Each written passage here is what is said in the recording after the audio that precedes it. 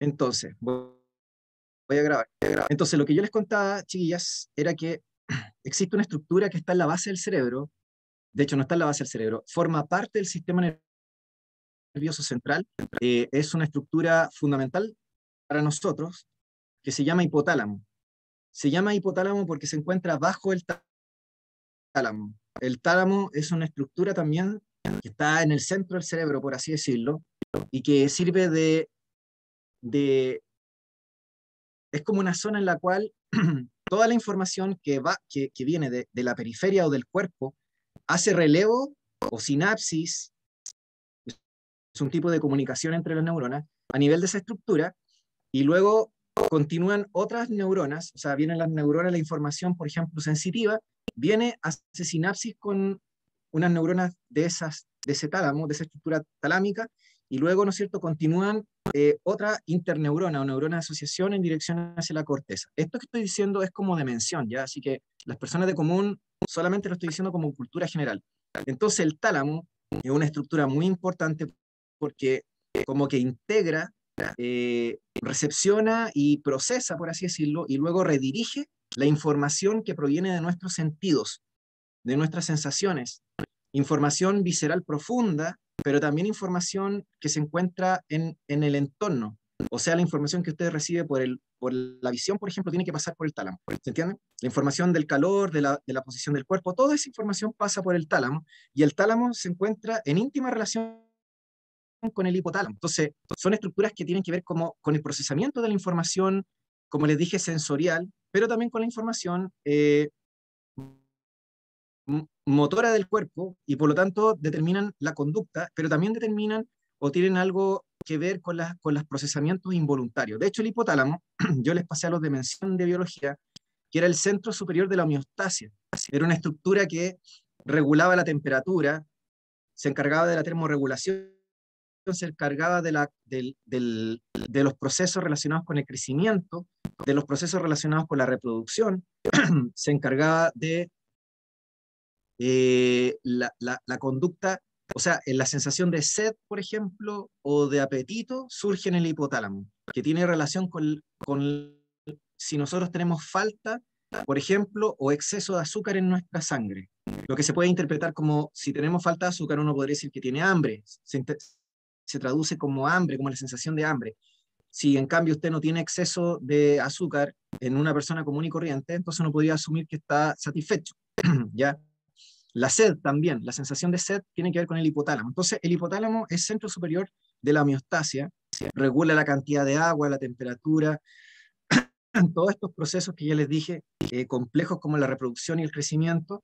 Entonces, para el caso de la sexualidad, obviamente el hipotálamo regula ese proceso. Entonces el hipotálamo, como les dije que estaba en relación con el tálamo, sabe la edad a partir de la cual tienen que empezar a producirse la madurez sexual en los niños y en las niñas, y luego, ¿no es cierto?, para cambiar a la pubertad y la adolescencia. Entonces, el hipotálamo, ¿no es cierto?, que es, es neurona, son, son tejidos nerviosos, son neuronas, produce una sustancia, una hormona, un, un, un neuropéptido. Una hormona es cualquier sustancia que se libera hacia la sangre y que se transporta por la sangre en dirección a un órgano o tejido diana u objetivo. Un órgano o un tejido que tiene eh, células capaces de reconocer esa sustancia. ¿ya? ¿Por qué? Porque tienen un receptor, una proteína que reconoce esa sustancia. Entonces, el hipotálamo produce una hormona que se llama el péptido liberador de gonadotrofinas, o gonadotrophic release hormone en inglés. Las siglas están así porque están en inglés, ¿ya? Entonces, eh, el hipotálamo libera la sangre, eh, esta sustancia que va hacia la hipófisis. La hipófisis es una glándula que crece en la base del cerebro, que, que no, es tejido nervioso, o sea, la hipófisis anterior es tejido endocrino y la hipófisis posterior, o lóbulo posterior de la hipófisis, es tejido nervioso. Así que yo podría decir que es como mixta. Tiene tanto tejido endocrino como tejido nervioso. Endocrino se refiere a células que son capaces de producir un producto, o sea, de hacer una secreción hacia la sangre. Endo es hacia adentro y crino de secreción, es una secreción hacia la sangre. Todas las glándulas son, o, la mayoría de las glándulas, nosotros las podemos clasificar como endocrinas si liberan algo hacia la sangre o exocrinas si liberan algo hacia afuera. ¿ya? Em, entonces, la hipófisis es una glándula endocrina porque libera em, hormonas hacia la sangre. Entonces, el hipotálamo produce este péptido que estimula la hipófisis, en este caso la hipófisis anterior o adenohipófisis, para que tanto en machos y en, hembras, o en hombres y mujeres, produzca lo que se llaman las gonadotrofinas, FSH y LH. FSH se llama hormona folículo estimulante y LH se llama hormona leutinizante. Son producidas porque hay células que responden frente a esta hormona GNRH hipotalámica y cuando eh, detectan esta sustancia, eh, ellas en la sangre producen como producto una hormona polipeptídica, una hormona, ¿no es cierto?, que va a actuar a nivel de, los, de, los, de las gónadas. Entonces, la FSH y LH se llaman gonadotrofinas porque gónado significa glándula sexual, testículos y ovarios, y trofo viene de factor estimulante o de crecimiento. Entonces, gonadotrofina significa eh, estimulante de las gónadas. Entonces, las gonadotrofinas son FSH y LH, tanto en hombres como mujeres, o en machos y en hembras. La FSH en los ovarios actúa sobre una estructura que se llama folículo ovárico para que produzca estrógenos, mientras que la LH actúa en el cuerpo lúteo de los ovarios para producir progesterona. ¿Ya? ¿De acuerdo? Eso ya lo pasé, ya estoy haciendo un repaso más. ¿Por qué me interesa repasar esto? Porque resulta que la progesterona ejerce feedback negativo o inhibición, tanto a nivel hipotalámico como a nivel hipofisiario. Eso significa que suprime el eje hipotálamo hipofisiario cuando sube su concentración. Y acá está el concepto de feedback negativo que ya expliqué hace algunas clases, que para el que no lo sabe o la que no lo sabe, es un proceso en el cual cuando uno tiene, uno tiene un proceso o una hormona, nosotros tenemos que tratar de que se mantenga dentro de un rango.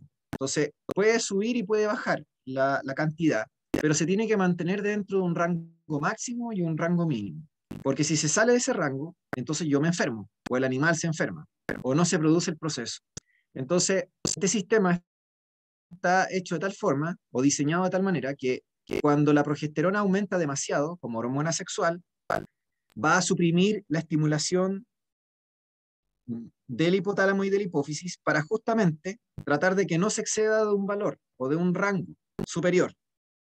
En cambio, al revés, si, baja mucho la, concentración de una hormona, entonces yo debería volver a activar el hipotálamo para producir esta, esta, o estas neuronas del hipotálamo para producir GNRH y volver a estimular a la hipófisis para que produzca FSH y LH y volver a producir la hormona.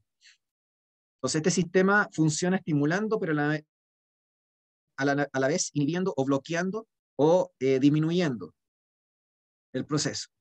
Entonces, ¿cuándo estimula? Estimula cuando faltan las hormonas. ¿Y cuando suprime? O cuando bloquea, cuando tengo exceso de hormonas. Así que por lo mismo, no puedo pasar de un valor máximo ni tampoco de un valor mínimo. Eso es lo que se supone que debería pasar normalmente. ¿Ya? Entonces, ¿qué me, me, me falta mencionar? Que en el fondo, yo les pasé a ustedes en clase que el estrógeno femenino cuando aumenta de concentración en la sangre, suprime a las células productoras de FSH por feedback negativo, pero no suprime al hipotálamo ni tampoco a las células productoras de LH. Es más, si el estrógeno aumenta demasiado, y se los dije a ustedes, puede ser que se haya olvidado alguno, por eso lo quiero mencionar, el estrógeno si aumenta demasiado, ejerce un efecto de estimulación o feedback positivo sobre el LH. O sea, está claro que ejerce una inhibición o feedback negativo sobre la FSH, ¿se entiende? Eso ya se lo expliqué, ¿ya? proceso de feedback negativo. O bloqueo o inhibición de las células productoras de FSH. Pero, pero, el estrógeno es una hormona, o los estrógenos, porque ya les conté que todo lo que tenga el prefijo o la, o la palabra estro es eh, de la familia de los estrógenos. Los estrógenos ejercen estimulación positiva sobre el LH.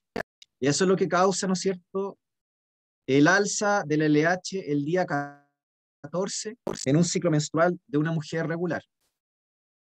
O sea que el alza del LH, que se produjo violentamente el día 14 en un ciclo de 28 días, un ciclo menstrual normal de una mujer, fue consecuencia del feedback positivo que ejerció el estrógeno sobre las células productoras de LH hipofisiarias, porque los estrógenos están actuando en la hipófisis, no en el hipotálamo.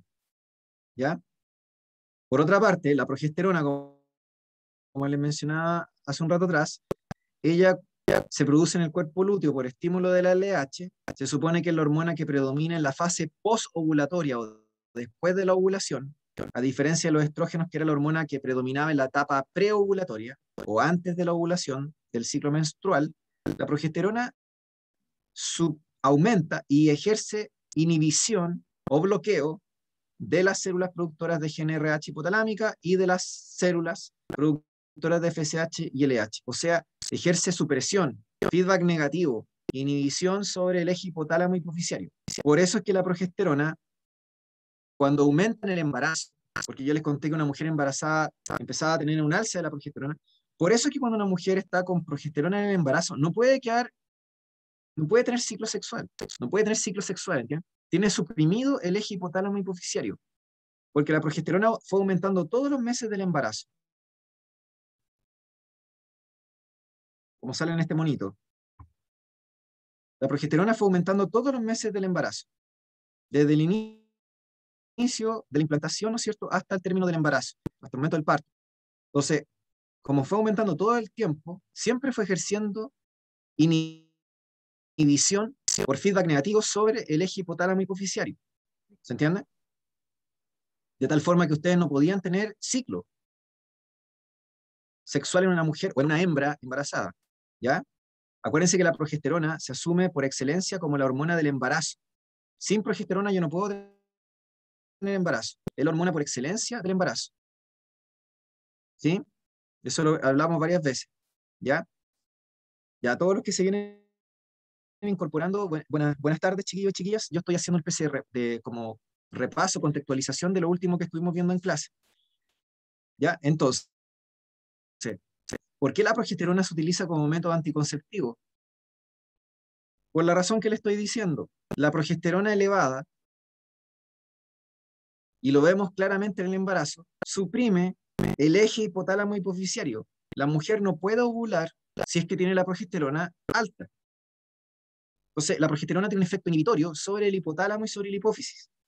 Mientras la progesterona está elevada, actúa como método supresor o inhibidor del ciclo sexual, del ciclo menstrual, del ciclo ovárico en el fondo, o de las hormonas gonadotrofinas. Entonces no puede haber ovulación mientras la progesterona esté presente en la sangre de una mujer. Y esto se da en dos situaciones, o que la mujer esté embarazada o que la mujer esté bajo hormonas anticonceptivas, o sea que esté tomando progesterona sintética. Dosis constante de progesterona sintética que le hace mantener, al menos, no, no aumenta la concentración, pero al menos se mantiene constante. ¿ya?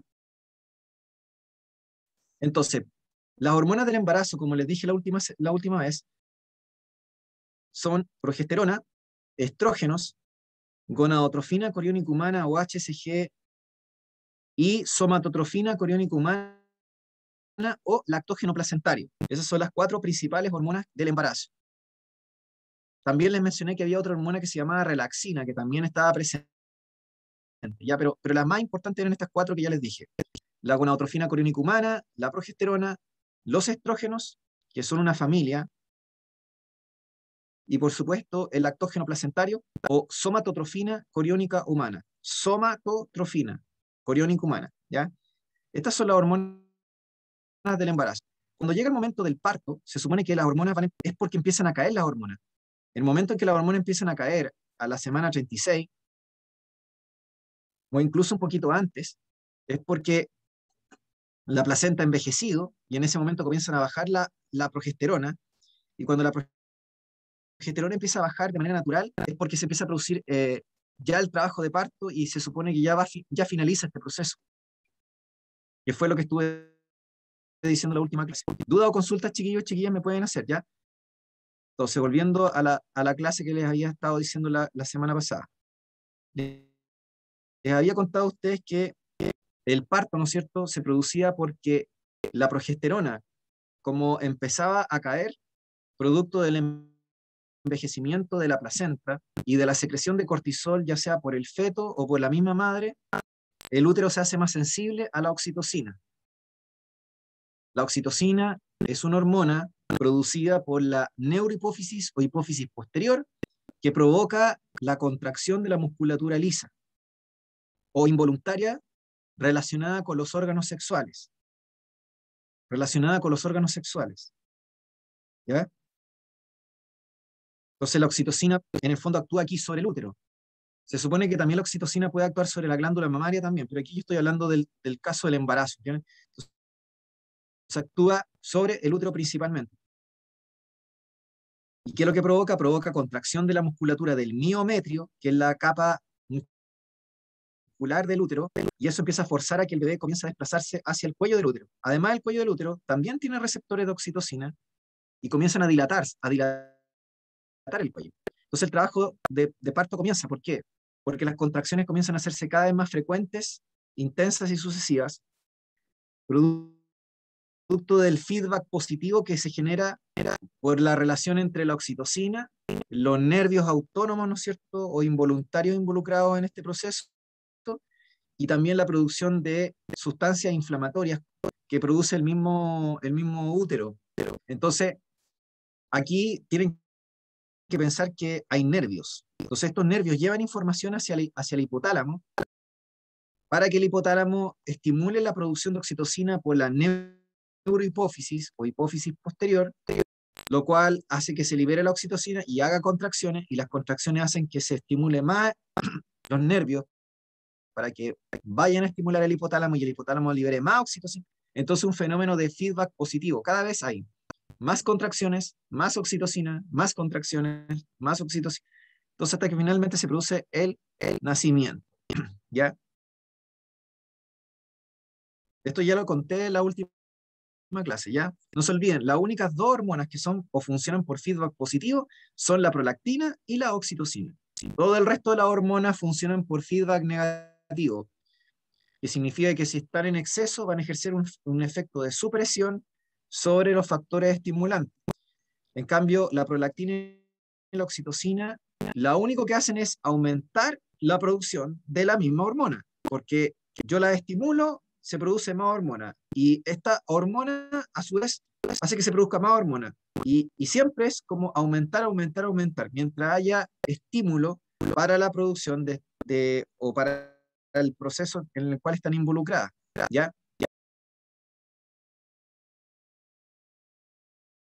Entonces, como les contaba, el, viene el momento del trabajo del parto, se produce el nacimiento y la placenta es expulsada en un fenómeno que se llama alumbramiento con A, alumbramiento, de alumbrar, ¿ya? Se produce la salida de la placenta. ¿Ya? Entonces, cuando se sale la placenta, se supone que las concentraciones de oxitocina y, sobre todo las hormonas sexuales, las hormonas sexuales que habían estado tan altas todos los meses del embarazo, imagínense, son nueve meses, se supone que comienzan a caer en, la, sangre de, de, la madre, porque, porque ya no tiene, no tiene placenta. Para el que se lo olvidó, la placenta es un órgano que nosotros perdemos al momento de nacer. Así que la placenta no es de la madre. La placenta es fabricación total del, de cada uno de nosotros. Cada uno de nosotros produjo su propia placenta y la placenta fue la estructura responsable del embarazo. Fue la estructura responsable de la producción de hormonas, sobre todo de, ya dijimos, progesterona, estrógenos, gonadotrofina coriónica y lactógeno placentario. No lo produjo la madre, lo produjo cada persona antes de nacer. Entonces fue cada uno responsable de su propio desarrollo. Gracias a estos factores que producía uno mismo, porque la placenta tiene la información genética de cada uno de nosotros. Por eso es que hay gente que conserva las placentas, porque las placentas contienen células madre, que tienen la misma carga genética que usted tiene. Así que si a cada uno de nosotros nos hubieran guardado congelados, por ejemplo, las placentas, nosotros ahí tendríamos células broncales o células madre que se llaman, tendríamos eh, células con nuestro ADN, con nuestra información.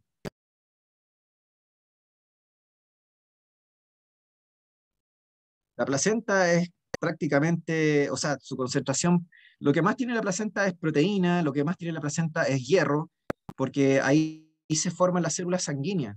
Todas las células troncales sanguíneas se producen en la placenta, en una estructura que se llama sacovitelino, entonces ahí hay una gran concentración de células madre, pero también de, de, de, minerales como, como el hierro, que es súper importante para la formación de glóbulos rojos.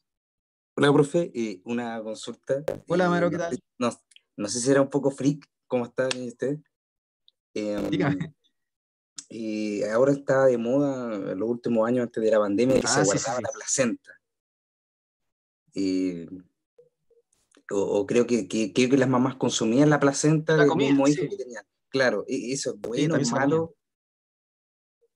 Porque, claro, tiene todo ese hierro, pero me imagino que funcionen en, en, cuanto está el parto, el embarazo, pero después perdería como esa, esas propiedades, ¿o no? ¿Podría generar algún efecto contrario o nada que ver?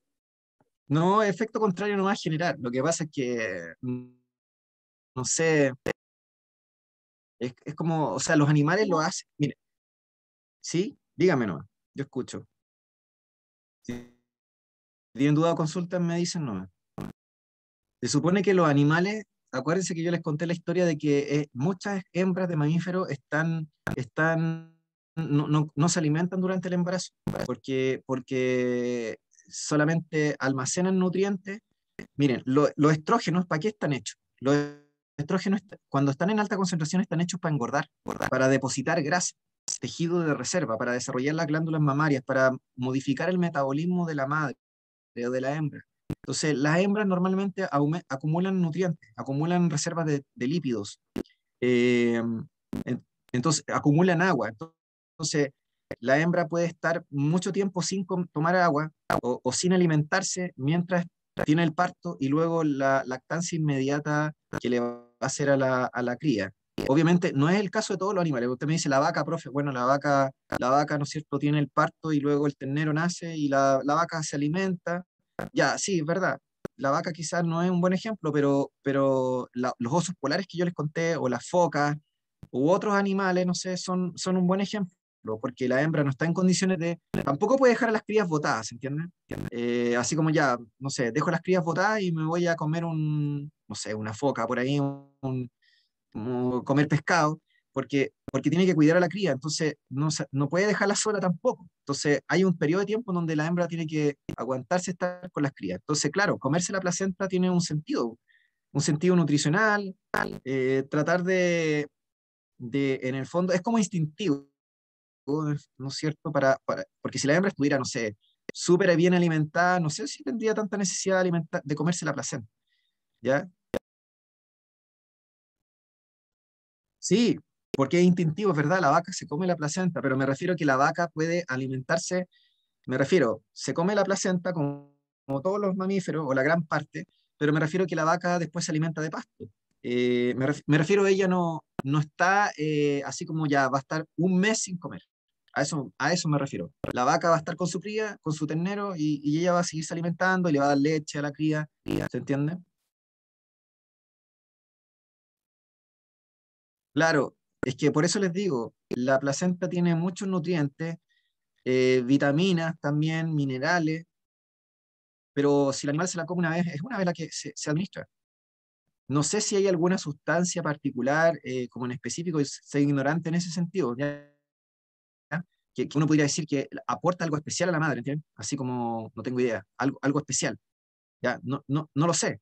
Solo sé que es abundante en proteína, en lípidos, por el, por el alantoides, que también tiene algunas propiedades de, de reserva energética en algunos animales, por el saco vitelino que les dije que está lleno de células troncales que, que contienen también alta concentración de hierro, porque son las células sanguíneas, las células madre de las células sanguíneas, pero no sé, eso, fundamentalmente. La madre se está comiendo en el fondo una parte em, de la cría. Está haciendo como un canibalismo, ¿entienden? Porque la placenta les dije que no es de la madre, la placenta les dije que es de cada cría. Así que la madre está haciendo, la madre está comiendo un órgano que le pertenece a la cría, ¿entienden? O que, le, o que fue parte de la cría. No fue parte de la madre. La madre acogió eso. los mamíferos placentarios, me refiero, los mamíferos, los mamíferos que desarrollan placenta, que no son todos los mamíferos. hay mamíferos que son, ¿cómo se llama? Marsupiales. Pero de los placentarios, claro. claro. Pero sí, es verdad, yo creo que es una moda más que nada. En la especie humana no hay necesidad de alimentarse la placenta, a menos que fuera muy grande la deprivación de nutrientes. No sé, por ejemplo, personas que han pasado por, una, por un periodo de, de, falta de alimento, de falta de alimento muy grande, un estrés hídrico y a lo mejor alimenticio también muy, porque tiene alta concentración, también alta cantidad de agua. O sea, tiene, tiene harta agua. Entonces es como que tiene agua, minerales, hierro, algunas vitaminas, ¿no es cierto? Em, tiene, tiene un montón de, de, nutrientes. Entonces es como bueno para un animal o una hembra que ha estado sin, sin alimentarse sanamente, por ejemplo, durante un periodo de tiempo.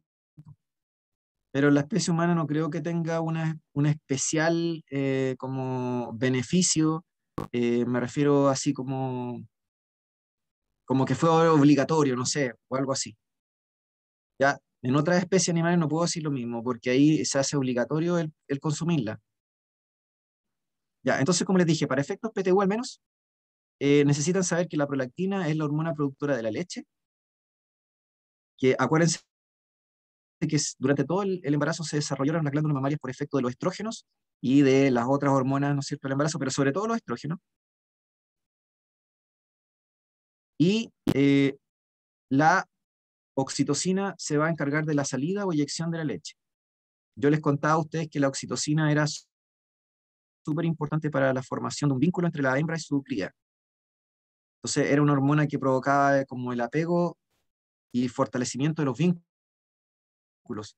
Entonces en condiciones normales se produce oxitocina y prolactina que son, funcionan como neurotransmisores en, en ciertas zonas de nuestro cerebro, sobre todo en las partes de, de los núcleos como de estructuras más subcorticales, más bien que son más como más primitivas.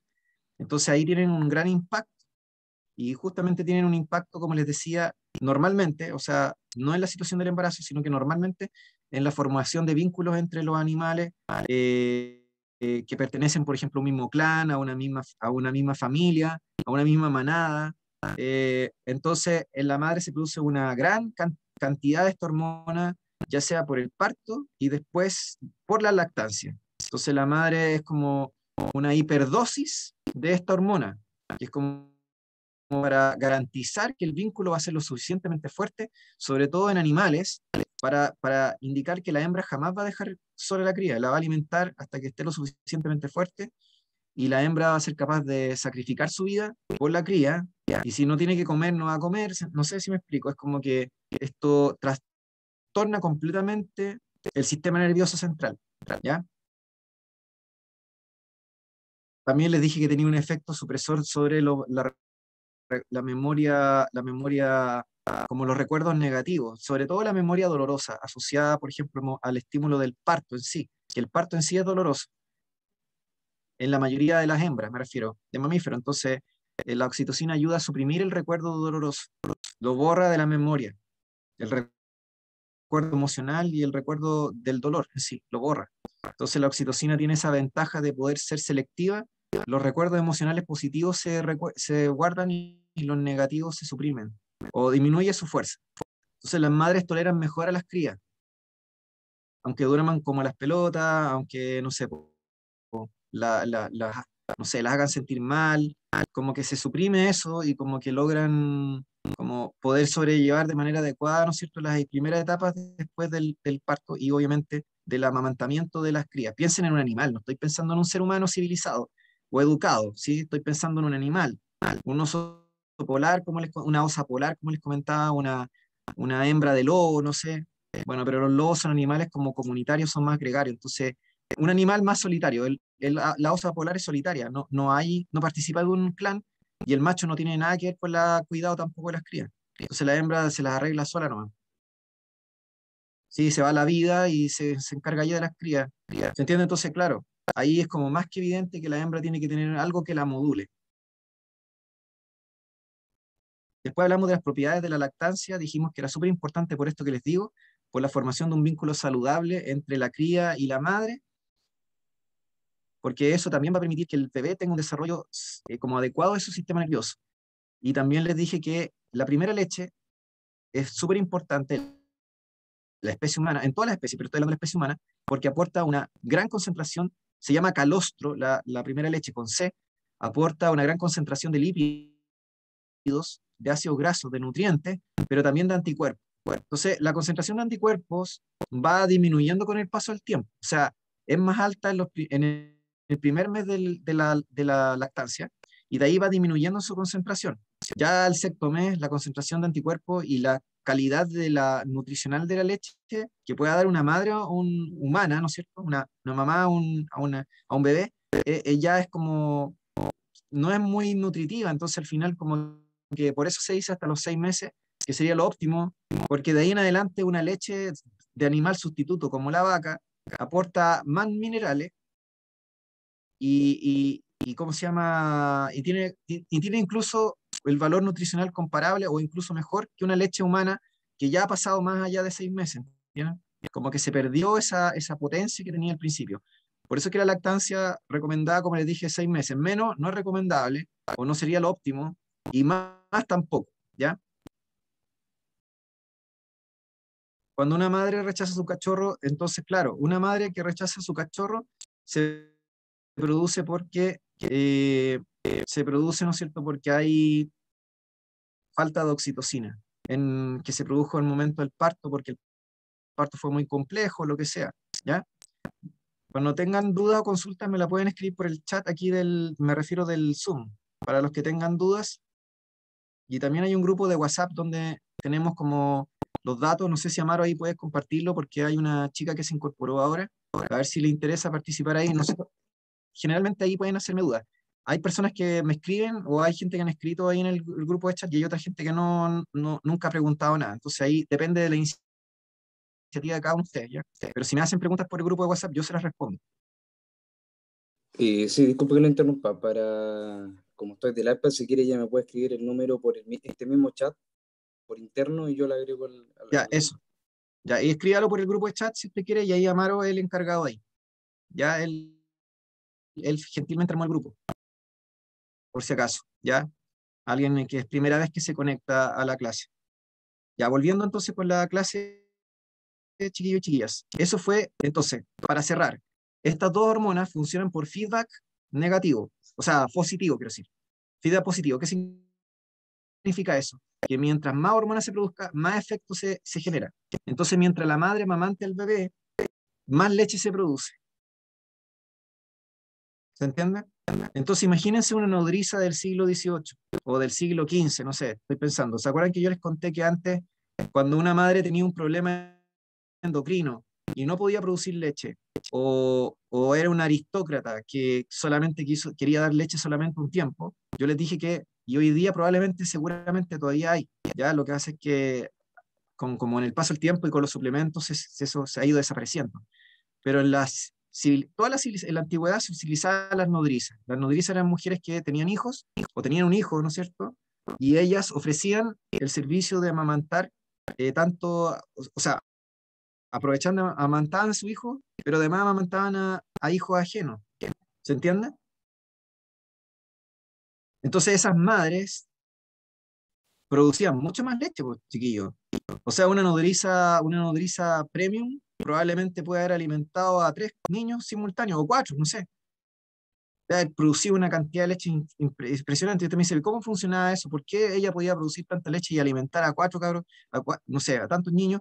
Porque seguramente está operando este sistema que le estoy diciendo. Mientras más estímulo haya, más producción hay. Ahora, si se, si se corta el proceso, o sea, es decir, ya ella deja de amamantar, se corta el proceso porque este proceso funciona por estimulación. ¿Se entiende? Si yo no tengo estimulación, se corta. ¿Cuál es la estimulación? La estimulación es el pezón. O sea, si se estimula el pezón, hay un nervio, un reflejo neuroendocrino, o sea, un nervio que va al cerebro, una, neurona sensitiva, ¿no es cierto?, va hacia el cerebro, hacia sinapsis, en el hipotálamo, y hace que hay una neurona hipotalámica, una, una neurona o una interneurona, un grupo de neuronas, manden la señal, ¿no es cierto?, para producir eh, tanto oxitocina como prolactina por la, por la hipófisis. La oxitocina por la hipófisis posterior o neurohipófisis y la prolactina por la hipófisis anterior o adenohipófisis. ¿ya? ¿Ya? Entonces, mientras más leche se produce, o sea, mientras más amamantamiento hay, más leche se produce. y Luego, si se corta el proceso, se corta. Se corta el proceso, se acaba la leche. No instantáneamente, pero hay que transcurrir algunas, algunos días probablemente y el proceso se corta definitivamente. ¿Ya? No sé si hay alguna duda o consulta.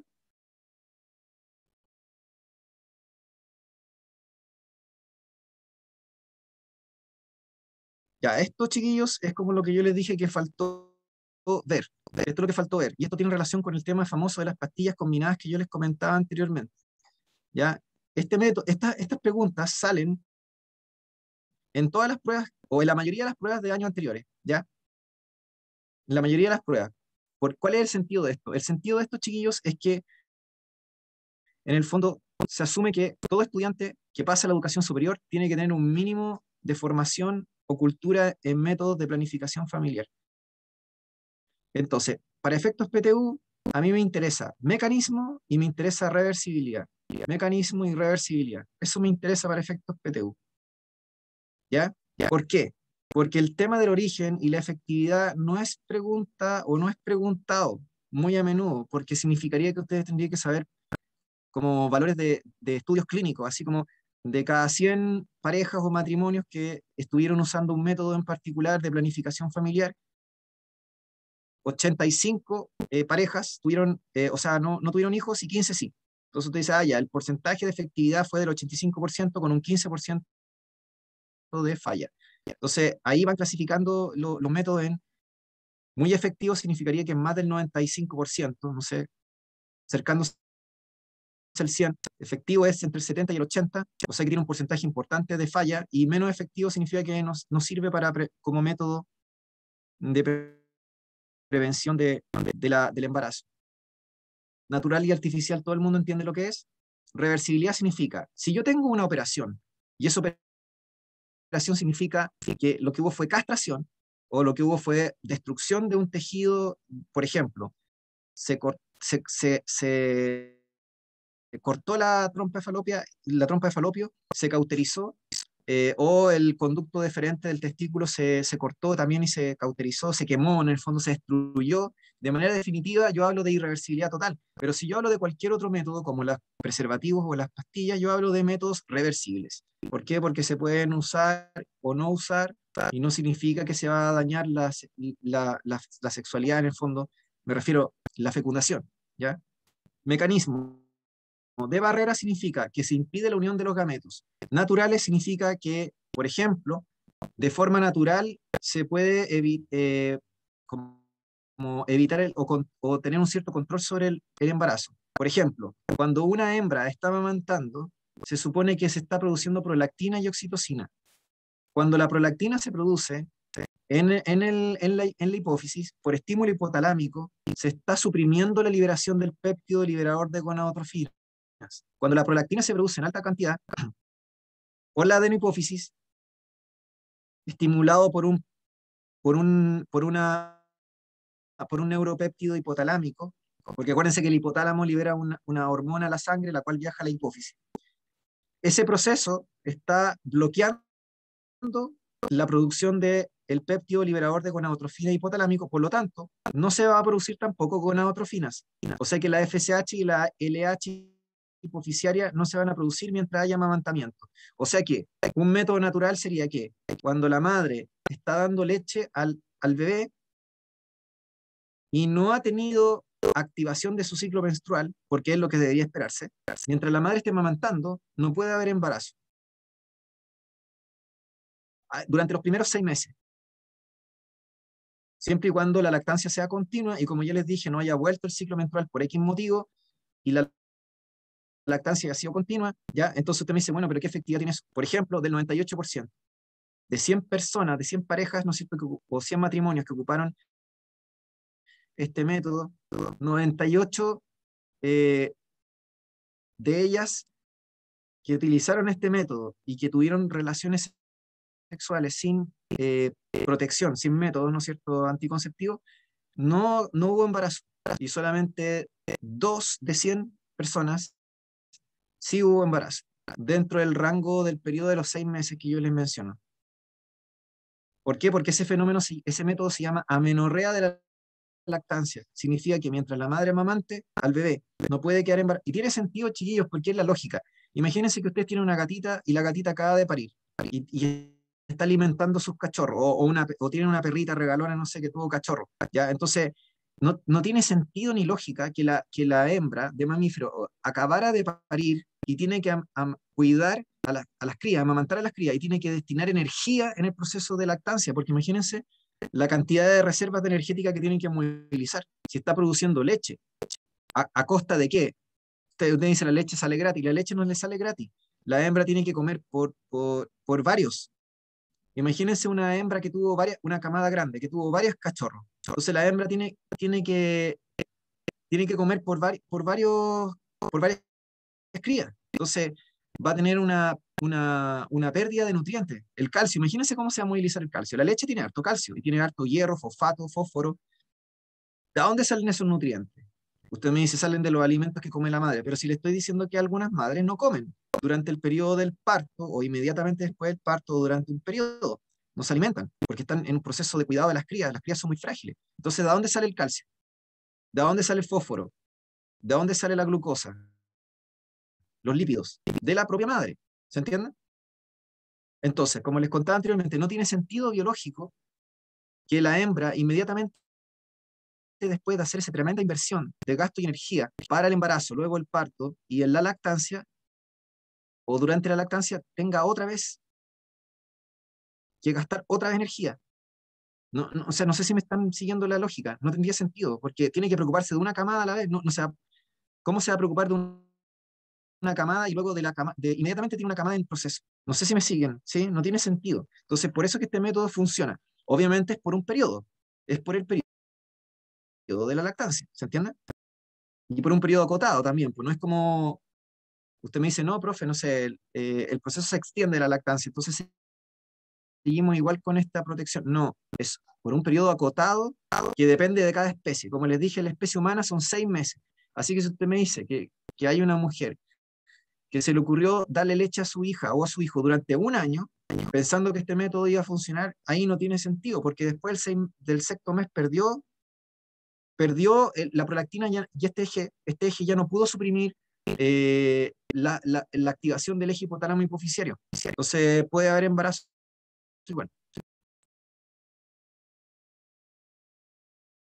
Sí, pues. Por eso es que es tan importante que la, las, se supone que, por eso les digo, ¿qué hacen las hembras de mamíferos normalmente? Se alimentan de manera brutal, de manera brutal, más encima es los, las hormonas del embarazo también promueven el apetito. ¿Se entiende? No es que usted me diga eh, como que, no sé, es como que la hembra dice, ah, tengo que comer porque estoy embarazada, estoy preñada. No, es algo como instintivo. Entonces aumenta el apetito. Tenemos que aumentar la concentración de glicemia, la concentración de nutrientes, de minerales, tenemos que aumentar la cantidad de lípidos. Entonces las hembras van a tener más hambre. Entonces van a alimentarse más y van a subir de peso para prepararse para lo que viene. Acumulan reservas, ¿se entiende? Entonces, efectivamente, si yo tengo una hembra mal alimentada, ¿no es cierto? O que no pudo acumular reservas energéticas durante el periodo del embarazo, el problema es que cuando venga la lactancia, la va a encontrar en, en, mal estado. ¿Se entiende? Sí, dígame, Amaro. Eh, bueno, también es como medio freak, pero en los casos que los niños a veces son amamantados como hasta los 5 o 6 años, eso tampoco genera eh, algún impacto positivo o negativo. Eh, es que lo que pasa es que, como le dije, el impacto positivo se da en el tema del, apego, del apego y es fundamental en los primeros, como en los primeros meses, fundamentalmente. Los primeros seis meses son fundamentales. Y obviamente después de ese periodo se supone que la, la, madre, por ejemplo, supongamos que tiene tiempo, entonces eh, va a poder, o la cuidadora también puede ser una, una persona que cuide, la abuelita, no sé lo que quieran. Se supone que va a seguir alimentando al bebé, pero con biberón, no sé, un biberón. Em, Entonces, claro, si usted me dice alguien que prolonga el proceso, si alguien prolonga el proceso, como les dije, igual puede, pierde efectividad como método eh, de, de, de, ¿cómo se llama?, de natural de inhibición del embarazo. O sea, mujer, aunque siga amamantando dos años o cinco años, como dice, igual puede quedar embarazada. Con mayor razón, porque ya no tiene el poder, el poder inhibitorio está potentemente en los primeros seis meses. Ahora, si lo hace durante todo ese periodo, como consecuencia negativa, eh, no sabría decirle qué tan, depende mucho cómo gestione eso, porque, porque al final ustedes comprenderán que el, el, o sea, tiene que ver como con un tema de cómo gestiona eso. No sé cómo decirlo. Eh, ahí, ya, ya, sería como algo netamente psicológico, como de, de tener mucho apego a... Como psicológico, como, como psíquico, sería como algo psíquico, no, no, no, no que se va a generar un sobreexceso. Entonces también dice, mire, yo conozco a alguien que fue amantado hasta los cinco años. Supongamos, no sé, conoce a alguien en la universidad. Entonces me dice, este gallo está, está loco, no sé, o me dice, es extraño, no sé, salió salió con alguna cosa extraña. No, no necesariamente, no necesariamente. Eh, por eso le digo, todo eso ya sería como algo más psicológico en particular, no algo de, no sé, del neurodesarrollo que yo le dije era tan importante al principio, ¿ya? Ya, volviendo al tema de acá de los métodos. Entonces, como les dije, amenazar a la lactancia durante los seis primeros meses de una lactancia tradicional. De ahí en adelante, aunque alguien siga lactando dos o cinco años, como preguntaba Camaro, no va a traer consecuencias, o sea, no va a servir como método preventivo de, embarazo. Ahora, respecto al impacto psicológico, no lo sabría, no sabría decirle porque no he leído nunca un estudio que hable acerca de la prolongación. Al parecer no hay, no hay efectos positivos. O sea, los efectos positivos se, son tangibles o cuantitativamente detectables en los primeros seis meses y el resto seguir con seguir con las conductas clásicas del apego. Por eso les digo que yo no podría medir como efectos negativos. Eso tendría que ser un estudio psicológico o psiquiátrico. ya, vamos a pasar. La lactancia, como les dije, no es que se afecte por, no es que la lactancia afecte los métodos anticonceptivos o al revés. Eh, o sea, se supone que mientras haya amenarrea de la lactancia, no debería haber embarazo. Entonces, no tendría por qué una mujer tomar métodos anticonceptivos por ejemplo, hormonas, me estoy refiriendo, durante la lactancia. No habría sentido. Además que tampoco es recomendable, porque si usted, supóngase, tenemos una chica que, una mujer que está, que, está embarazada, tuvo el hijo o la hija, y entonces empieza a tomar pastillas anticonceptivas, no sé, ¿Por qué se le ocurrió eso? Ningún ginecólogo le va a decir eso. Resulta que las, las pastillas o todos los, los, hormonas esteroidales son, son liposolubles y atraviesan las membranas biológicas. Entonces lo que la madre consuma va a pasar a la, leche. Es como la madre que consume drogas. Si la madre fuma marihuana, por ejemplo, o la madre consuma algún tipo de droga liposoluble, psiquiátrica también puede ser. Las drogas psiquiátricas son todas, tienen propiedades eh, liposolubles. De esa forma atraviesan la barrera hematoencefálica, porque tienen que ser moléculas más chicas o apolares, que, que puedan atravesar las membranas biológicas. Entonces, si la madre consume una droga, si consume un psicofármaco, fármaco, un antidepresivo, no sé, si consume drogas eh, o si consume hormonas esteroidales, por ejemplo, esas pasarían a la leche y de la leche pasan al bebé. Entonces no tiene, no tiene sentido hacer eso. Es contraproducente por el bebé. No sé si me siguen. Hay muchas sustancias que en el fondo la madre tiene que cuidar la dieta también, pues no es solamente que la madre durante el embarazo se cuidó y no consumió droga, no consumió alcohol, eh, la madre, ¿no es cierto?, se cuidó en sino que durante la lactancia también, ¿se entiende? Va a evitar fumar, va a evitar tomar alcohol, ¿no es cierto? Eh, ojalá no tenga que hacer ningún tratamiento, ¿no es cierto? No sé, pues si está en un tratamiento, lo tratará de modular. ¿Ya? Ahí se supone que se supervisa con un ginecólogo. Ya, chiquillas, chiquillos, entonces para seguir avanzando, como les contaba, hoy día tengo que hablar un poco de estos métodos y mostrarles ejemplos de preguntas PTU de esto, ya para ir a la, parte práctica. Eh, como les dije en su momento, estos métodos fueron popularizados a partir de la década del 60, del 50, porque los países desarrollados y sobre todo Naciones Unidas se preocupó de cómo lograr contener las altas tasas de natalidad que tenían los países en vía de desarrollo. ¿ya? Que en el fondo corresponden los países típicamente del hemisferio sur, o la mayoría de los países del hemisferio sur, de África, de Latinoamérica sobre todo. o países, por ejemplo, algunos países de Medio Oriente. ¿ya? Entonces, eh, por eso es que empezaron a popularizarse estos métodos. Y de hecho las poblaciones de ellos estaban bastante deprimidas ya en ese, de, esa, de esa época. Eh, salvo, como les decía anteriormente, después de la posguerra, que hubo una alza brutal de la natalidad. Después de una época donde murieron millones de personas, ¿no es cierto? Y se logró normalizar algo la situación, la natalidad se pegó como un golpe violento y eso ocurrió tanto en países desarrollados como en vías de desarrollo, pero, pero igual el foco principal siempre estuvo en los países en vías de desarrollo. Entonces se popularizaron estos métodos, ¿ya? Y se trataron de promover como de una manera más, más intensa. Entonces, ¿por qué? Porque lo que se quería era controlar la población, o sea, el crecimiento poblacional, ¿se entiende? El crecimiento poblacional es el, el foco central aquí. Entonces usted me dice, el foco central es, el amor, no, el amor no es el foco central, estos tipos nunca le interesó eso. Las farmacéuticas, no, imagínense cuánta plata ganaron las farmacéuticas con las famosas pastillas, o cuánto gana, cuántos millones de dólares creen ustedes que produce el, el que produce, ¿no es cierto?, el tema de estos métodos. ¿Cómo, cuánto, ¿Cuánta ganancia hay relacionado con esto? Entonces, hay intereses creados, ¿entienden? La, otra cosa también, ¿no es cierto?, eh, bueno, ya eso, eso fundamentalmente, como les comentaba, ya entonces, para que vean que siempre hay un interés político detrás de esta cosa, ¿ya? Entonces, tú me dices, profe, las infecciones de transmisión sexual. Las infecciones de transmisión sexual, por supuesto que son un problema de salud pública, pero tampoco el foco estuvo puesto ahí, porque si el foco hubiera estado puesto ahí, hubieran trabajado en prevención en salud, prevención y promoción, que son cosas completamente distintas, y además que los métodos, la gran mayoría, no protegen contra infecciones de transmisión sexual. Entonces, sería una mentira decir que, ¿no es cierto?, los métodos protegen, ¿ya? Porque en general los métodos no, no protegen tampoco de que haya transmisión de infecciones de transmisión sexual. Entonces, como, si ustedes se fijan, como que hay muchos mitos relacionados con esto. ¿ya? Hay muchos mitos relacionados con esto.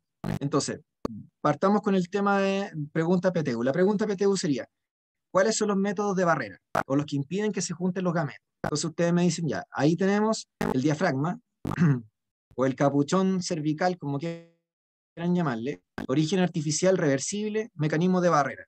La efectividad es mala, si se le agrega espermicida mejora un poco, pero obviamente no protege contra infecciones de transmisión sexual. Entonces, es el, el tema de la infección de transmisión sexual lo vamos a mencionar igual, es súper delicado ese tema, chiquillos, porque eh, usted me dice, no, la infección de transmisión sexual es solo de gente promiscua.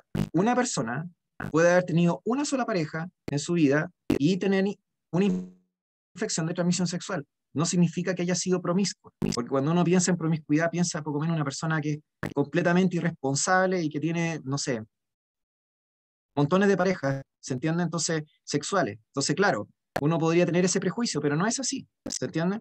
Por eso es que el mejor método de prevención de infección de transmisión sexual es la abstinencia sexual lo cual perfectamente podemos hacer todos, no se necesita hacer un... Usted dice, chuta, eso lo hacen solo los curas y los monjes budistas.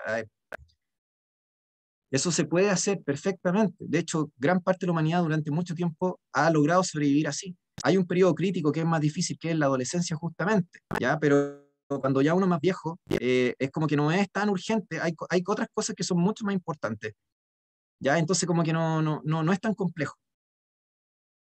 Pero hay edades que sí es complejo, ¿ya?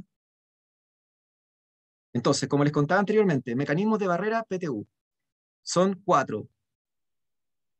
Diafragma, preservativo masculino o femenino, ya que son parecidos, ¿ya? Dispositivo entretenino o DIU, que puede ser de cobre o puede ser de hormonal, y por supuesto las, eh, las jaleas permisidas, que no salen acá, ¿ya? Esas son como las cuatro cosas de barrera. Eh, como les dije, preservativo, femenino masculino, diafragma o capuchón cervical y dispositivo intrauterino.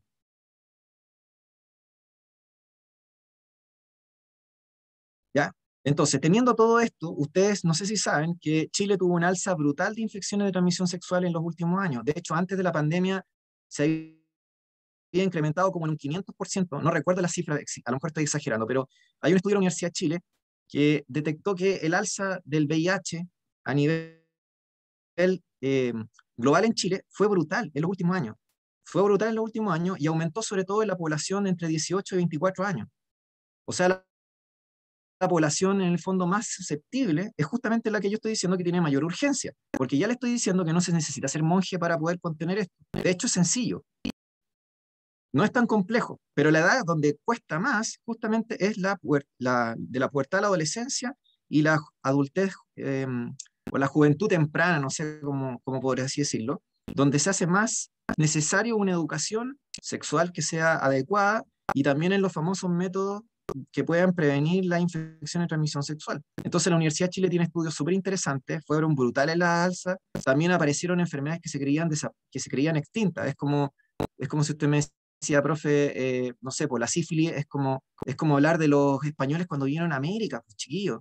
No sé si ustedes saben que había un problema tremendo con, con la sífilis acá en América. En América precolombina, antes de los españoles, no existía la sífilis, ni la gonorrea.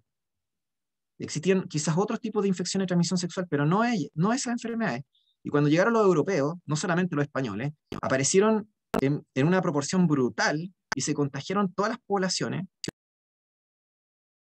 Y eso elevó la tasa de mortalidad. No solamente fue la tuberculosis la que eh, a la población precolombina, ¿entienden? La tuberculosis o la fiebre tifoidea o todas esas enfermedades que existían en el pasado donde no había cura, sino que también la, la enfermedad de transmisión sexual. Profe, ¿sabe lo que yo encuentro increíble? Que, por ejemplo, en, mi época de, liceo también nos enseñaban como lo justo y necesario, pero, pero casi nadie sabe que hay que hacerse exámenes periódicos, que hay que hacerse un panel ITS, además de exámenes de sangre, exámenes de orina, y, que efectivamente también se puede pegar, no sé, si uno está en, alguna piscina pública, también te puedes contagiar con alguna infección. Entonces, el tema, el tema es súper complejo y, claro, como dices tú, también hay que ponerle cabeza a ciertas situaciones que uno sabe que puede estar como más expuesto. Por supuesto, y de hecho, y de hecho la misma Universidad de Chile también hizo un estudio que, lo pueden buscar ustedes en internet, ¿ya? porque no tendría que traer los links. hay, tanta información que uno podría decir, chiquillo. Hay estudios, por ejemplo, que muestra que la población es súper irresponsable y la prevalencia por, ejemplo, ustedes me podrían decir quién tiene, eh, por ejemplo, el, el, tema de las famosas trabajadoras sexuales, las trabajadoras sexuales, la prostitución, ¿ya? Obviamente ese tema es súper complejo, ¿ya? Un tema súper complejo, yo ahí, eh, es un tema súper complejo, ¿ya? Porque toca la moral, to, toca la ética de cada persona, también el tema religioso, está muy involucrado. Es lo mismo con el tema de la sexualidad, ¿ya? Y resulta de que, por ejemplo, se hizo un estudio eh, de lo que se podía llamar más prostitución establecida, si ustedes quieren llamarlo de alguna manera, trabajadoras sexuales principalmente, más que trabajadores hombres, ¿no es cierto? Y resulta de que se descubrió que la tasa de prevalencia de VIH o de infección de transmisión sexual era menor que la población general. La población general actúa de manera súper, no sé cómo explicarle, de manera súper eh, descuidada, ¿entienden? De manera súper descuidada. Entonces, habiendo toda la información que ustedes, por ejemplo, el preservativo se dice que es un método artificial, reversible, mecanismo de barrera, se considera efectivo, es decir, la efectividad es mala, sinceramente, es mala. O sea, usted me dice, profe, es del 80, sobre el 83%, 85%, ya, pero esa no es una efectividad del 100% de prevención del embarazo. Entonces, estamos como en el tema del COVID, pues chiquillos.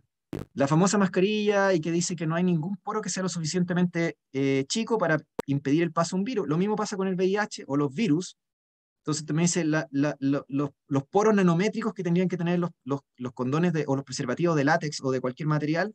Entonces empezamos ahí ya con un problema, ¿ya? ¿ya? El tema de la barrera eficaz para el tema de ciertos virus.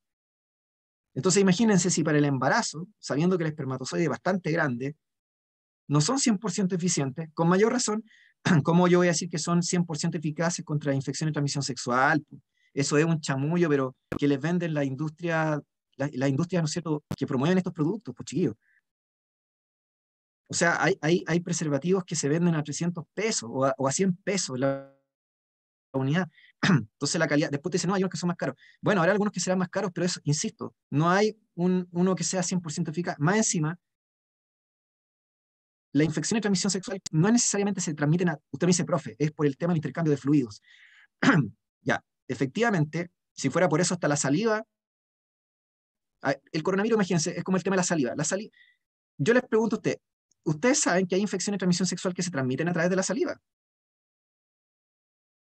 Si fuera por eso, no sé si me, están, siguiendo. No es solo un tema genital, ¿entienden? Hay, virus que se transmiten por la piel. Entonces, no es, e, es súper así como decir, no, este método previene toda la infección de transmisión sexual, porque no es verdad. ¿Se fijan? Sobre todo los herpes, por ejemplo, genitales o, los virus que se depositan en la, piel, que infecta no solamente las mucosas, sino que afecta la piel también. ¿Ya? Entonces, por eso les digo, eh, no, es correcto decir que este es el único método y es, es como el santo vial, es como ya el método 100% eficaz. Ya ese tema es, eh, erróneo, pero para efectos PTU, así como en general, vamos a decir ya, al menos es el único que tiene un, poder de cierta prevención, ¿ya? De infecciones de transmisión sexual. Este método, obviamente, igual que el diafragma, no previenen de infecciones de transmisión sexual, sería solo el condono preservativo, y este método, este método que es la famosa dispositivo intrauterino, ya sea T de cobre, creada por un chileno, ¿ya? Y no es casualidad que sea de cobre, ¿ya? O sea, esto es como made in Chile, total. Ya esta se popularizó en la década del 50, o mm, como en esa época se popularizó, y lo que se hacía eran hacer operativos médicos donde se iban sobre todo a, a, regiones rurales y se busca, por ejemplo, los médicos, ¿no es cierto? Eh, la salud pública antes era distinta a la que existe hoy en día, chiquillo, entonces había como no sé cómo decirlo, habían como concepciones brutales, se podría decir. ¿Ya?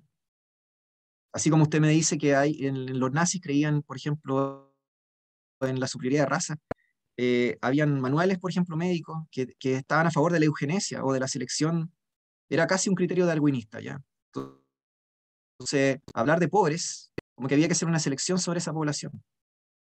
Es brutal eso, ¿ya? Si alguien quiere estudiar después medicina o algo relacionado con la ciencia de la salud y va a una biblioteca y agarra un libro antiguo de antes de la década del 50 o el 40, se va a ir de espalda, con lo que relatan ahí directamente, como políticas públicas y en relación a la gente que sufre, por ejemplo, eh, consume drogas, gente que tiene enfermedades mentales, eh, eh, o gente, por ejemplo, que vive en, situación de pobreza, de verdad que van a leer, o sea, se caerían de espalda. ¿ya? Entonces, lo que se hacía era hacer esos operativos, insertar la T de cobre a mujeres, ¿no es cierto?, de escasos recursos, analfabetas de campo que tenían no con mucha familia y nunca les contaban que esta cuestión es abortiva. O sea, tiene, tiene una posibilidad de ser un método de prevención del embarazo, pero es abortiva. Y usted me dice, ya, ¿y eso qué significa? Chiquillos, la objeción de conciencia. Ustedes saben que la década del 40 o el 50 en Chile, usted me dice ahora en la actualidad, ¿cuánta gente es evangélica o es católica en la actualidad en Chile? Pero ¿cómo era hace 50 años atrás, chiquillos, o hace 80 años atrás? Este país ha sido de raíces profundamente cristiana, ¿se entiende? Entonces la objeción de conciencia para una persona que se dice cristiana respecto a los métodos anticonceptivos, sobre todo los que son abortivos, es brutal. Entonces te dice, bueno, pero la gente no sabía, así que no, claro, no sabía, pero después de alguna u otra forma se terminaban enterando. Entonces, como les dije, la T de cobre eh, se reemplazó por la famosa T plástica hormonal que contiene hormonas. Se supone que esta tiene un mejor eh, eficacia ¿ya? Y no debería tener propiedades abortivas como sí lo tiene la T de cobre. Pero en general se considera que el DIU impide tanto la fecundación como eh, la implantación del embrión en caso de haber fecundación. Ahora, hay gente que ha nacido con, con o sin T igual porque la T de cobre pierde eficacia después de unos años. No es una cuestión que se coloca y dura infinitos años. Después de unos años deja de perder el, eh, el poder que tiene. ¿Y cuál es el poder que tiene? Inflamar la mucosa por un cuerpo extraño que se coloca dentro del cuerpo, un cuerpo extraño que se coloca y que inflama y produce una respuesta reactiva inmunitaria, una respuesta hiperreactiva inmunitaria que quiere rechazar y deshacerse de este cuerpo. Por eso es que se produce, como les dije, el aborto, porque el sistema inmune está desesperado por tratar de deshacerse de esta cuestión. Entonces, si llega a haber, eh, como les dije, fecundación, el embrión se pierde acá. No puede implantarse por la hiperinflamación de la mucosa. Pero después de cinco años, esta cuestión no sirve para nada. Entonces, nacen después los, los bebés y la placenta tienen carnada la tepo. ¿Ya? Entonces, mecanismo artificial, reversible, de barrera y efectivo. ¿Ya? ¿Duda o consulta, chiquillos, hasta el momento? si ustedes se dan cuenta, al final ningún método es 100% eficaz, ni siquiera la pastilla que voy a mencionar ahora. El mejor método es la abstinencia, y como les dije anteriormente, el mejor método aparte de la abstinencia, no solamente por la prevención del embarazo, sino como método de prevención de infección y transmisión sexual que están por la cima de las nubes acá en Chile. Ya ahora la pandemia yo creo que vino como a, amortiguar un poco el proceso, porque resulta que la gente estuvo encerrada, ¿ya? La gente estuvo encerrada. ¿Preguntas o consultas? ¿Alguien levantó la mano también? Claudia me dijo todo claro, ¿ya? Alguien habría levantado la mano recién, pero... ¿Profe? No sé. Pueden, si quieren, escribirlo por el chat o decirlo por el audio, no hay problema. Dígame. ¿me escucho, no? Sí, le escucho perfectamente. Ah, profe, una consulta. ¿Por, sí, qué ¿Por qué el cobre, en la T de cobre? ¿Cómo? ¿Qué es la, qué es la T? La T es esta. No, profe, ¿por qué el cobre? material cobre? Ah, se supone que el cobre tiene propiedades. Sí, pues se supone que el cobre tiene propiedades especiales. Se supone que, es, es bactericida, por ejemplo. O sea, me refiero, tiene propiedades como no se contamina, o sea, con bacterias por lo menos. No se va a contaminar con bacterias. Y además no se considera tóxico, eh, o al menos no tan tóxico como otros elementos que a lo mejor existían en la época. Porque, como les dije, alguien podría haber dicho, bueno, podrían haber hecho una cuestión plástica.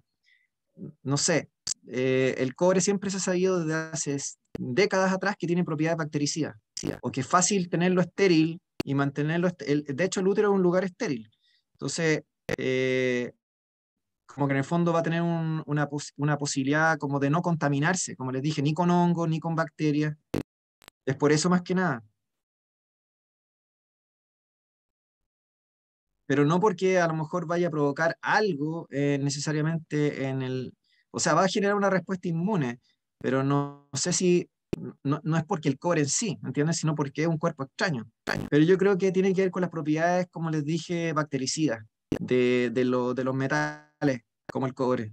De hecho, acuérdense que ahora hay calcetines de cobre, hay cuestiones, creo que se están usando en la medicina también varias cosas de cobre, por lo mismo que les decía, la capacidad eh, antibacteriana eh, para, para, para, evitar que se contaminen eso, esas, esas estructuras. Ya, chiquillos, como les decía anteriormente, los combinados, ya vamos, vamos avanzando, con esto vamos a ir terminando. Los combinados, se supone que hay muchas versiones. Acá le estoy poniendo la más popular, que es las pastillas, pero ustedes tienen la inyección, tienen los implantes intradérmicos, eh, hay, hay un montón, ahí están los parches, que son unos parches que se pegan. Entonces, todas tienen como, o actúan bajo la misma premisa, ya no se trata de un mecanismo de barrera, sino que se trata de un mecanismo farmacológico, que es artificial y que es reversible. Entonces, al igual que los métodos anteriores, que no previenen la infección y transmisión sexual, ni siquiera el condón, que se supone que es como lo mejor, ¿ya? Eh, en, términos de infección y transmisión sexual, este no protege de eso, no protege, obviamente, y tampoco se considera un método 100% eficaz, porque la eficacia de la mejor pastilla anticonceptiva o el combinado es del 98,5%. Quizás mejora con el implante, pero el problema del implante es, son las fechas de, como el, proceso cuando, cuando el implante deja de ser eficiente. Porque hay implantes que duran 3 o 5 años. Entonces el tema es que en, ese periodo en el cual comienza a perder eficacia, en donde falla. Entonces al final no hay ningún mecanismo que sea 100%. Este, excepto la abstinencia, como les comentaba.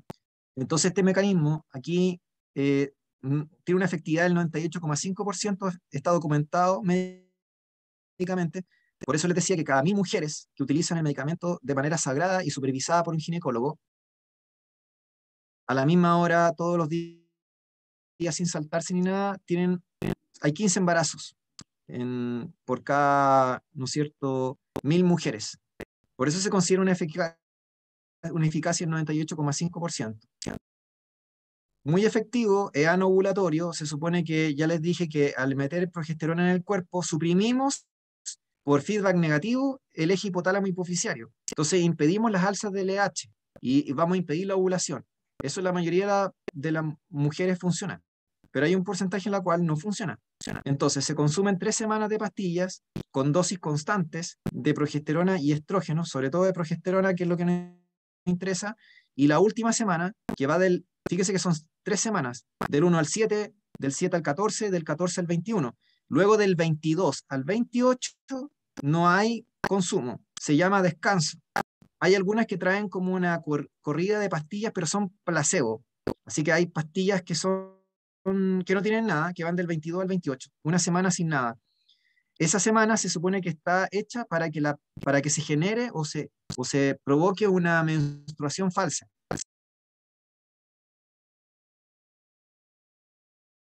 ¿De acuerdo?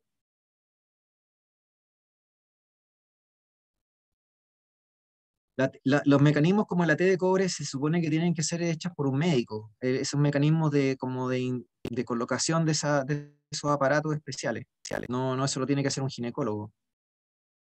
Ya, volviendo al tema, como les comentaba, se consumen pastillas del 1 al 21 con concentraciones constantes, de tal manera que las hormonas llegan a un nivel, se mantienen, y cuando llegamos al día 21, al día 21, del 22 en adelante, se dejan de consumir de tal forma que la concentración que se había estabilizado cae y se produce flujo menstrual, un desprendimiento parcial de la mucosa del endometrio. Obviamente no tiene nada que ver con la menstruación natural.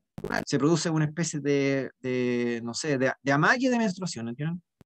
De hecho, las mujeres que tienen problemas de, problemas de menstruación, eh, porque hay incluso enfermedades que, se producen por menstruaciones muy intensas, que son dolorosas, que son que mucho flujo, entonces a veces les dan Mm, por, por, por, no por, por prevención del embarazo ni nada, sino como tratamiento médico. Es como la fibrosis quística u otras afecciones que se le dan a las mujeres. Entonces, este tratamiento ayuda a regular el ciclo y que el flujo sea menos potente.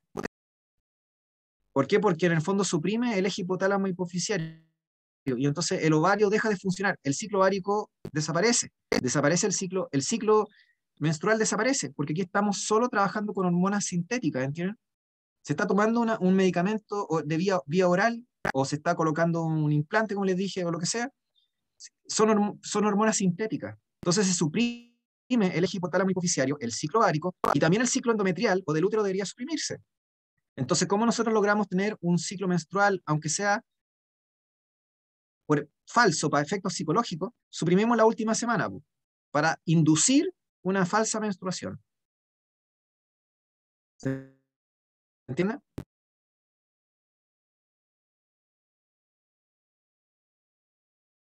Entonces, esta es la típica pregunta que les van a hacer ustedes en la prueba. Ya voy a poner ejemplos de preguntas para no seguir avanzando en lo mismo. Bueno, acá me están mostrando, ¿no es cierto?, que si yo tengo, ¿no es cierto?, la, estoy consumiendo la pastilla, el tema es que las hormonas eh, van, a, van a subir y van a, van a mantenerse en una concentración estable, los estrógenos y la progesterona, y luego cuando se deja de tomar, caen la hormona, pero no hay alza de LH y FSH. Se suprime la, la hormona gonadotrófica, porque tengo suprimido el hipotálamo hipoficiario. Entonces, las hormonas sintéticas no, no, suprimen el alza del LH el día 14, no, no hay ovulación. ¿Se entiende? Ahora, estas pastillas tienen efectos secundarios a mediano y largo plazo, y tienen efectos a nivel hipotalámico también. Entonces, se supone que no, no es recomendable recomendable su consumo permanente. Se supone que se deberían consumir por periodos acotados de tiempo. Por periodos acotados de tiempo, ¿se entiende? Ya para cerrar entonces el tema, bueno, la, la, la, la ligadura de, de sabemos que el mecanismo que les dije anteriormente es farmacológico.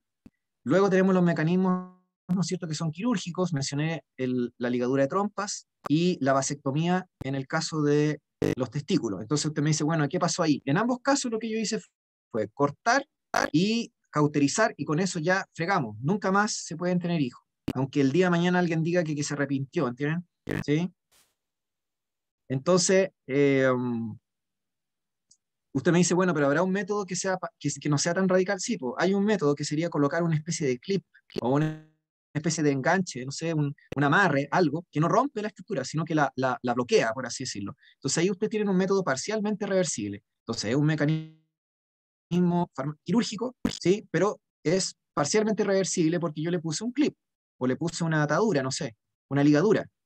En cambio, si yo corto, quemo o, o saco un fragmento, ahí ya fregamos. Y ese método sería el único 100% eficaz.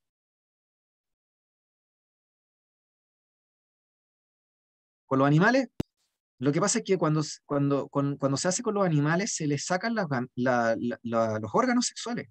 O sea, una gata que se, le- que se opera se le saca los ovarios, se queda sin ovarios. Ya no puede producir eh, hormonas sexuales, ya no tiene ciclo menstrual ni nada.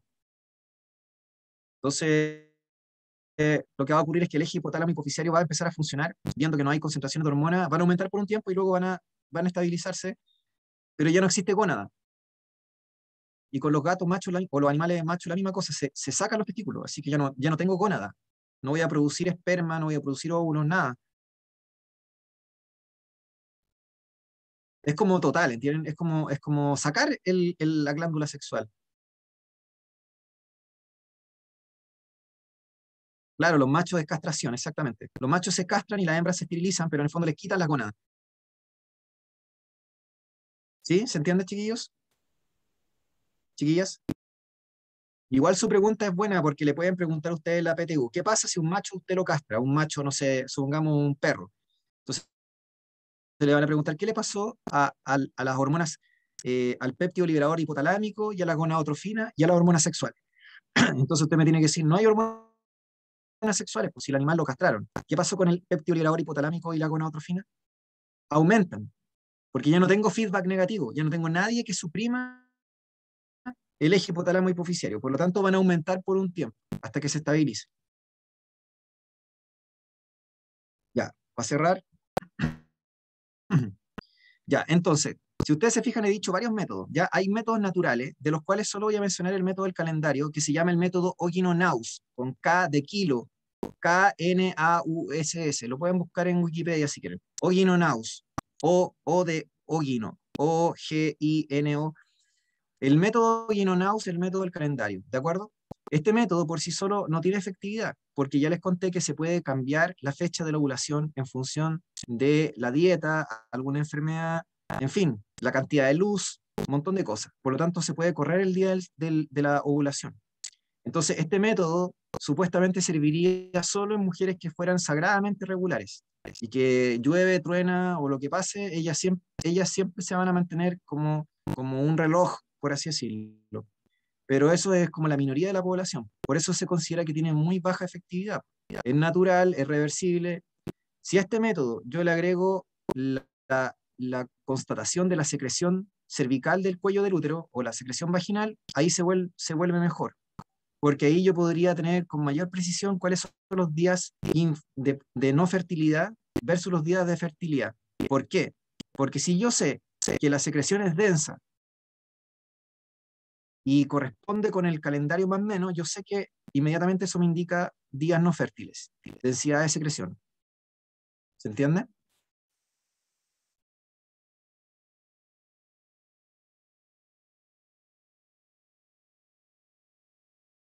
Ya, chiquillos.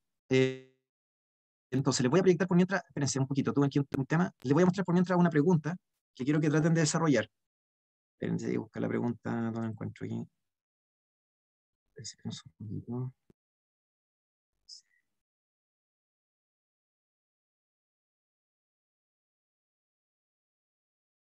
Acá está. Ya, voy a poner una pregunta acá.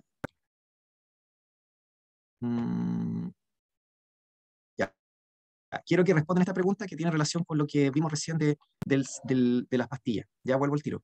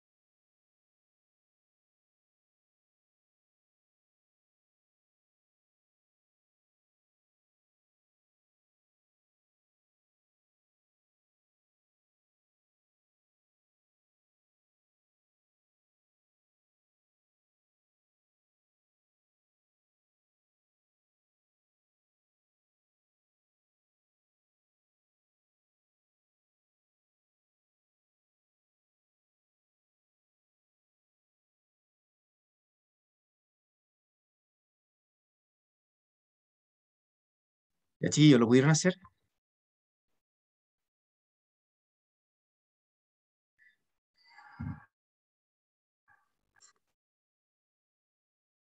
Esto tiene que ver con la pastilla que vimos recién.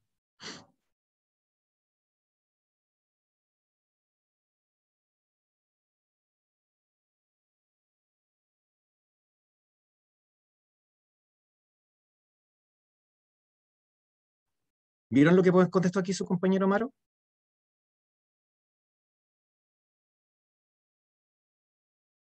Tenía en la mente el, el, gráfico de, de, embarazo que vimos. Tenía en la mente eso, por eso lo, lo asocié con eso. Pero ahora que dijo las pastillas, lo, lo dudé poco. Claro, fíjese bien. Dice dosis constantes. Por lo tanto, tiene todo sentido que sea como una pastilla. ¿Se fijan?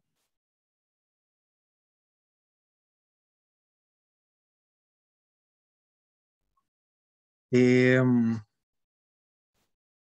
la correcta aquí es la alternativa B, ¿ya? Pero, pero la degeneración del cuerpo lúteo no debería formarse cuerpo lúteo si nosotros, ¿no es cierto?, tenemos progesterona, que la administramos constante desde el principio. Piensa en una mujer normal, una mujer normal que toma pastillas anticonceptivas. ¿Podrá formar cuerpo lúteo? Una mujer normal, que le empezamos a dar pastillas conceptivas desde el primeros días de su ciclo. ¿Podrá formar cuerpo lúteo?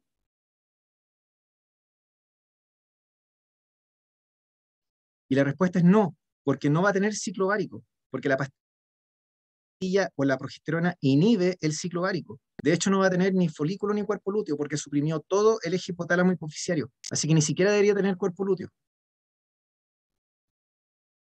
¿Se fijan? Así que efectivamente la respuesta correcta es la B, de barco. ¿Sí? ¿Sí? ¿Me siguen, chiquillos? ¿Chiquillas, me siguen?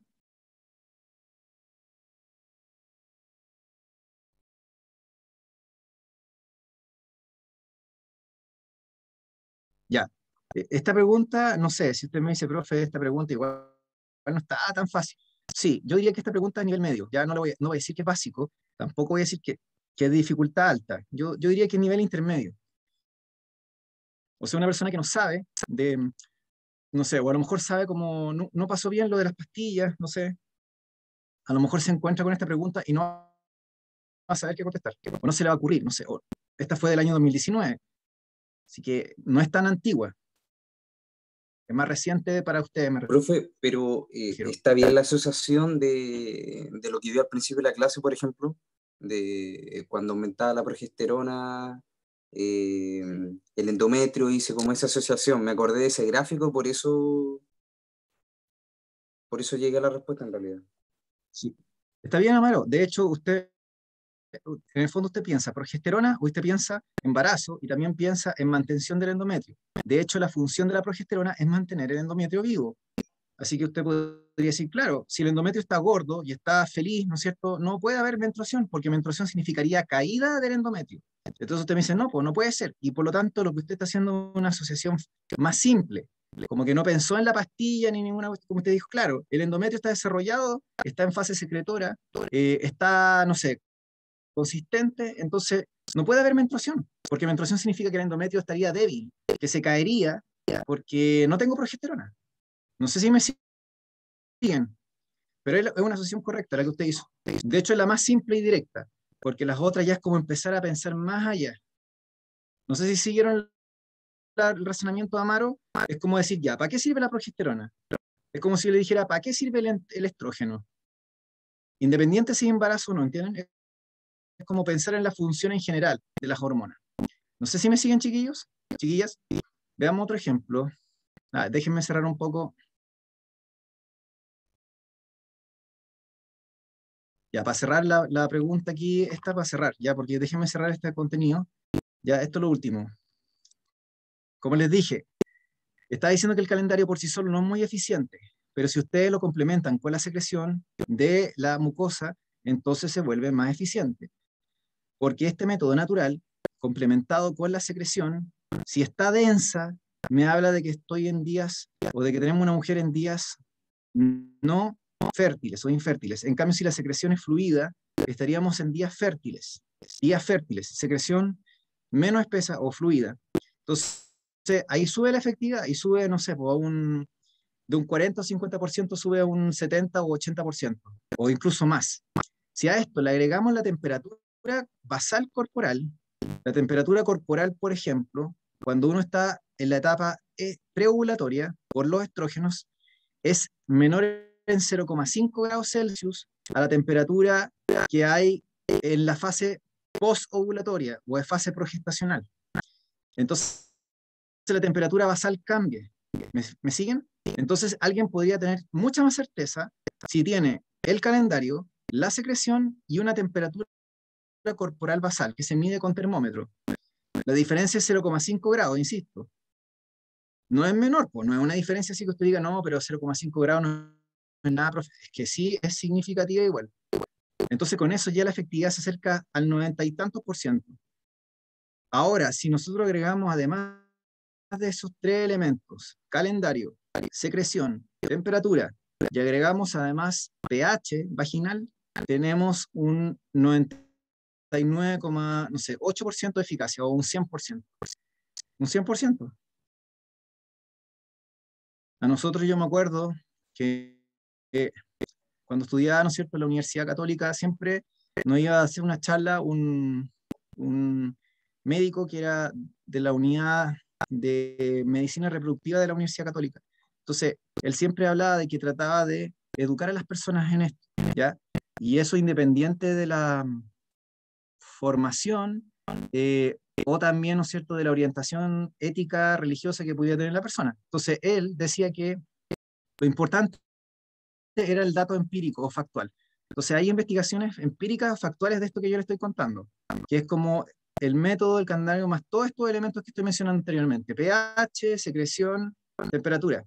Entonces, él decía que, claro, este método era el método natural por excelencia y su, y su valor predictivo era el 100%, o sea, como método de prevención del embarazo. Entonces él decía, claro, la, la gente no lo sabe. Eh, si, si, alguien propone, por ejemplo, este método, puede decir, ya, este es el método que se propone, ¿no es cierto?, en relación como a la, a la gente que puede ser más, más eh, fiel, ¿no es cierto?, a sus creencias religiosas. Por ejemplo, un matrimonio cristiano, católico o evangélico, que sea más ortodoxo, el único método que deberían utilizar debería ser este. ¿Se entiende lo que estoy diciendo? Porque los otros métodos, ¿no es cierto?, se salen un poco de la moral cristiana, ¿ya? Entonces, este método, usted me dice, bueno, pero este método por sí solo no tiene ninguna eficacia, claro, pero le estoy diciendo que si se complementan con los otros elementos, sí resulta 100% eficaz. Lo que pasa es que nadie lo utiliza porque es muy complejo, porque imagínense que son varias variables, no es solamente el calendario, es secreción, temperatura, pH y secreción. ¿sí? Entonces requeriría un entrenamiento, requeriría un entrenamiento un entrenamiento de perceptivo, donde cada mujer debería ser súper consciente en función de todo esto que yo estoy diciendo, de cuáles son los días fértiles e infértiles que tienen. Y en función de eso no necesitaría ningún método. Eh, eh, me refiero de los otros que yo he mencionado anteriormente, suponiendo que está en un contexto, ¿no es cierto?, estable, de pareja, ¿no es cierto?, matrimonio. ¿Me sigue la idea? Entonces, chiquillos, eso sería el tema respecto a los métodos, ¿ya? Pero yo les mostré aquí un ejemplo. Hay otros ejemplos que les podría seguir mostrando, por ejemplo, a ver esta pregunta. No. Eh, perdón, perdón, se me fue. A ver. Mm, ya, bueno, esta pregunta creo que la habíamos visto en algún momento, chiquillos. No, no sé si me parece, me parece que la habíamos mencionado. Ya, igual la, la podemos mostrar de nuevo, si total sirve igual esta pregunta se relaciona con la materia, no, no, es, no es necesariamente método anticonceptivo, pero bueno, es como relacionado con sexualidad. ¿Se acuerdan de esta pregunta?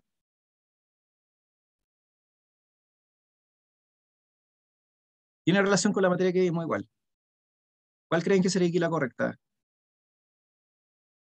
Esta prueba del año 2016, PSU, de módulo común obligatorio.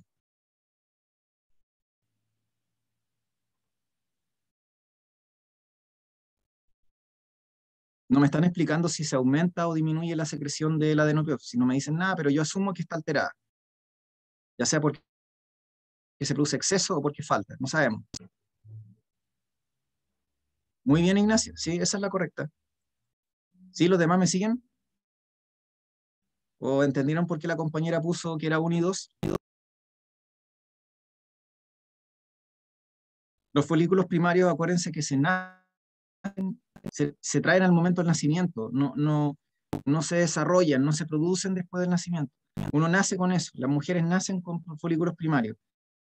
Los folículos, los folículos secundarios o terciarios o maduros o de Graf que se llaman, son dependientes de la actividad de la hipófisis. Pero el folículo primario no, ese nace con esa, con esa estructura. No se puede eh, producir. Así que efectivamente está mala la 3 es solo unidos, actividad ovulatoria y secreción de estrógenos, pero no producción de folículos primarios, porque los folículos primarios se nace con ellos. No se producen después del nacimiento. Actividad ovulatoria, ¿por qué? Porque si tengo un tumor en la hipófisis, puedo producir más FSH y LH, ¿no es cierto? Y va eso a alterar la ovulación. Y si yo tengo más FSH, por ejemplo, un tumor hipersecretor de la hipófisis o que produce muchas más hormonas, me va a aumentar la secreción de estrógeno. ¿Se entiende? Así que efectivamente unidos. No sé si les quedó claro, chiquillos. Chiquillas. Estos son los ejemplos de preguntas que les pueden colocar en módulo común. Ni siquiera en mención, estoy hablando de módulo común. Ya, veamos otro ejemplo, a ver. Ya, pregunta, esta fue PSU admisión 2021, o sea, PTU, esta ya es PTU, esta ya es PTU. Miren, esta va de la misma manera, de la misma, mire, la misma pregunta va en la misma dirección que la pregunta que respondió, que respondieron ustedes hace un rato atrás, que Amaro me dijo que creía que era la pregunta de la de administrar dosis crecientes de, de progesterona. ¿Se acuerdan? Miren, esta pregunta es del 2000, admisión 2021, no es de este año, es la del año pasado. Pero fíjense que va en la misma línea. Me de método anti conceptivo. ¿Sí? Claro, ¿Se entiende también serían pastillas, obviamente, pero dice progestina inyectable que vendría siendo un sinónimo de, de pastillas combinadas. Exactamente. Sí. ¿Se, ¿Se, dan cuenta, chiquillas, chiquillos? La lógica de estas preguntas.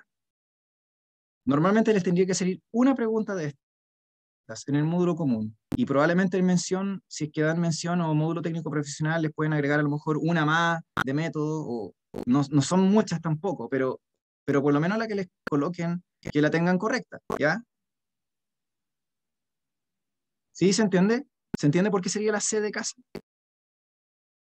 Sí, Claudia, efectivamente. ¿Se entendió, chiquillas, chiquillos? ¿Sí?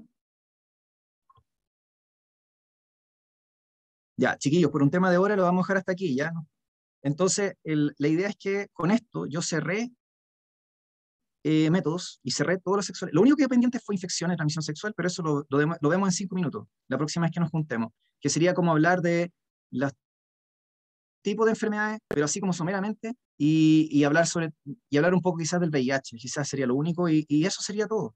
Y de ahí ya cambiamos completamente de tema y ya nos metemos en genética, o en otra unidad, o en otra unidad, ¿ya?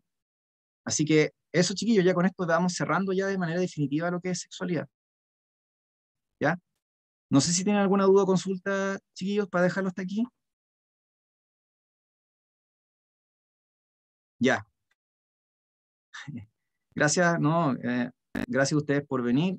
Así que con esto ya eh, nos estaríamos despidiendo ya, ¿ya? Para que vayan a almorzar.